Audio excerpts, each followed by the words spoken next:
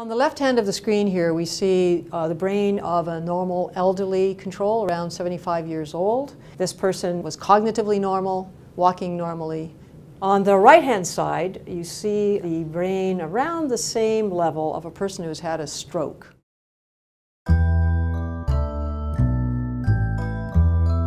So most people's understanding of stroke is the common uh, situation where someone suddenly becomes paralyzed or lose vision or has a sensory loss or can't speak. That's what we call overt stroke.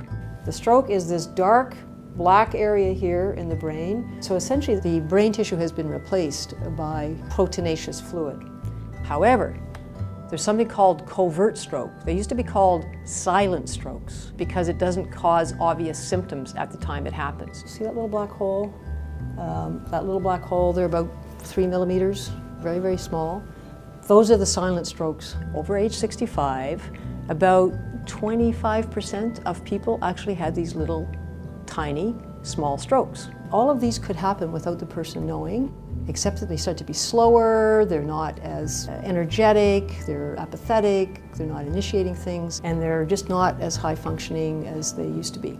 So-called white matter disease is even more common, and so in the same studies, they found that 95% of people over 65 have some degree of white matter disease. I don't think you need to be a neurologist to see that there's something very different here in this person's brain. So you can see these confluent blotches of white matter change around the ventricles. This person would have not only the short-term memory problem, but they would have this executive difficulty, uh, problems making decisions.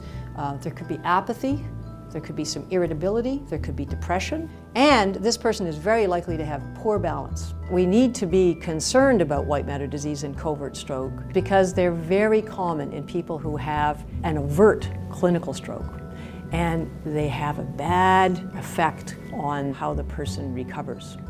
Whether it's actually a hemorrhage type of stroke or a blockage type of stroke, people do worse when they have the white matter disease and the covert strokes. So we have to attend to it and understand it and do something about it in order to help people recover. The third reason that it's really important is because of the relationship to Alzheimer's disease. Alzheimer's disease is the commonest single cause of dementia. Stroke would be the second single cause of dementia. But the truth is, in older people, they cohabit. They live together. And it's the combination that makes people most likely to be demented. Because in old age, the problem with Alzheimer's disease is people cannot clear the amyloid from the brain. And this kind of disease makes it harder to do so. So the covert strokes, we think, relate to blockage of the little arteries in the brain whereas the white matter disease probably relates to disease of the venous system, the drainage system of the brain. The cost is about 15 billion a year right now. And because of our aging population, in a generation, those costs will be about 150 billion. Now, having mentioned how important these diseases are, um, the question is what can we do about it? And uh, that gets tricky.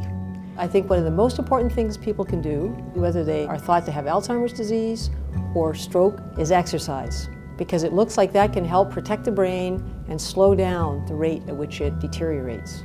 And also following a heart-healthy diet is something that we all can do in order to protect our brains and help ourselves if we have these conditions.